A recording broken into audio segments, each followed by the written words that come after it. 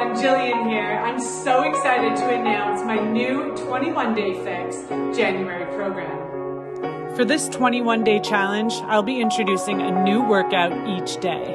It takes 21 days to break old habits and to create new ones, so start your year off right by introducing daily movement into your life with this 21 day fix.